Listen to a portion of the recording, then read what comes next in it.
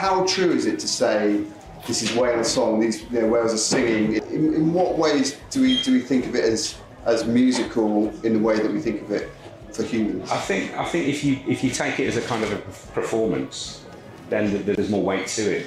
Uh, there's there's one theory that the males, um, the male humpbacks, are actually singing to to basically show off to females, and you know we all like to show off. Um, You're talking about a, a, rock musician, basically. Pretty much, yeah. yeah. That's classic rock and roll Yeah. uh, frontman, isn't it? That's Yeah. right. And uh, at the same time, there's no real evidence to suggest that it makes a huge difference, but it's one of the best ways that we can actually showcase our presence. You know, the, the full range of our vocal ability may actually give some indication of the fitness of the individual who's actually making the song.